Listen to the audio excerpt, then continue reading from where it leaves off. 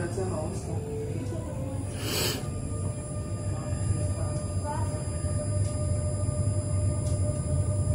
Tá? Agora vem, deixa eu contar